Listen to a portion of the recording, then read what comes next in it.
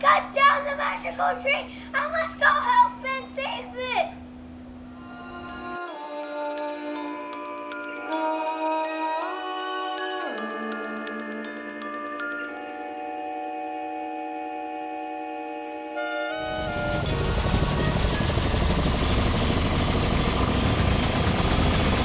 Stop!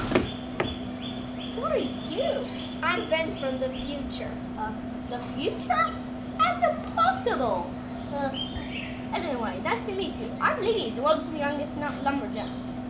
Don't chop down the magical tree.